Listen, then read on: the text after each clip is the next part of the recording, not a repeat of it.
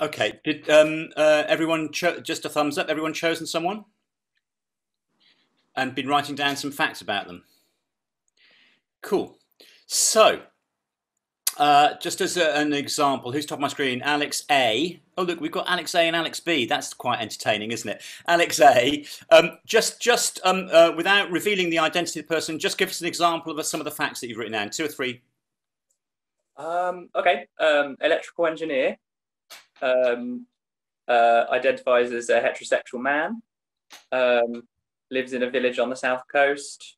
Perfect. Thank you. That'll do now. Pause there. Um, Phoebe, again, just give us some uh, two or three representative facts of what you've written down. Um, Gardner lives in a cottage, plays the ukulele. Okay, great. I want to meet that person. Great, thank you. Got a ukulele playing Gardner can't be bad. Um, uh, Alex B, give us an example of a few facts. Um, I put female dog owner, middle child. Okay, female dog owner, middle child. Good. Uh, Clover. Um, I put dark brown shoulder length hair, born in Bristol and five foot ten. Okay, great. Hannah. Um, went to an all-girls school. Um, she, they have two Hungarian Vizslas. Um, is a beautician. Great. George? Uh, brown hair, tallish, 23, docketing assistant. Lovely. Thank you. Honor? I put uh, hair greying and tinged with old dye. I put five foot seven and growing shorter. And I said they're frequently traveling, so there's no real home base for them. Interesting. Jessica? I put five foot four, dark brown hair, head teacher with six dogs, two cats, and a horse. it's a lot of animals going on. Andrea? Natural public speaker, loves food, loves people. Okay, lovely.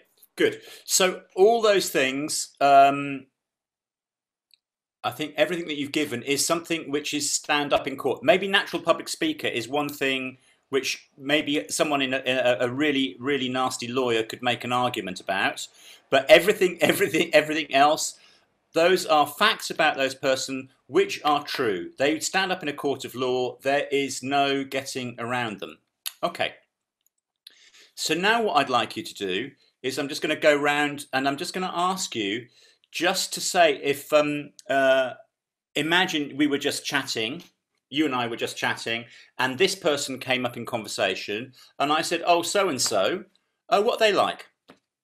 Yeah. So you're answering the question, "What are they like?" Yeah, simple enough. Andrea, let's start with you this time. Um, she's very easy to talk to. She's very sweet. Okay, lovely. Easy to talk to, sweet, lovely. Honor. They're they're very outgoing and when they're in public, but uh, under uh, quite high pressure. Good. George. Uh, fairly quiet and awkward, but uh, calming presence. Interesting. Jessica. Uh, very outgoing and empathic, but also kind of scatterbrained.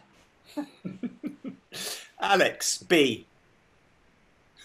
um, quite shy, but the best person I know. Sweet, so so nice. Um, Clover. Um, salt of the earth. Um, a really good mimic, like really good at every accent. Um, yeah. and uh, very talented. Hannah. Um, doesn't take herself too seriously. Has a great sense of humour. Um, northern. That, that could be a fact thing, couldn't it? In fact, that yeah. could go in the, in the fact con. Rachel, and I forgot you earlier, Rachel. I'm really sorry. It's because uh, I'm going by screen in my head. Uh, this pathetic brain of mine. Rachel. Um,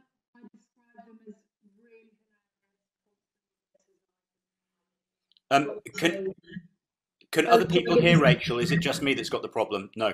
So can you? Uh, you made me talk a little bit more directly into the mic. Oh, can you hear me now? Um, really, I describe him as very, very funny, very hilarious, constantly lives his life as a parody of something or someone, um, but is actually a little bit awkward and shy at times. Okay, lovely. Phoebe? Pretty tell. Um, I'd say, oh, she's lovely. She's one of the sweetest people you'll ever meet.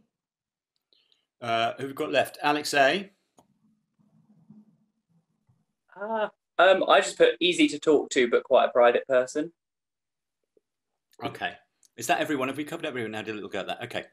So, first of all, we looked at, at facts, and we're throwing Northern. We're definitely throwing Northern in there because that's a that's a, a biographical fact. Um, uh, then, when I asked you, you know, what are they like? Notice all those words you use, like they're you know easygoing or warm or uh, you know lovely, talented, sweet. And notice the way that we talk about people is we use adjectives. Now, I'd like to now think about the idea of character. And because um, most of us who end up in the world of the performing arts have been educated in the Western academic tradition, the first time we meet the idea of character is usually through English GCSEs. And what happens, you know, describe the character of Lady Macbeth. Describe the character of so and so. And what happens is, is that we dutifully write down words like ambitious, you know, um, uh, selfish, self-motivated, intelligent, uh, manipulative, all these adjectives. And as you've just been describing uh, these people, these real people, you've been using adjectives. And what I want to leave you with, as we're coming to the end of our first session, is the idea that character, as nearly always talked about in theatrical circles, is bullshit. Character, as most people understand it, is not how some what somebody is, it's how we describe them.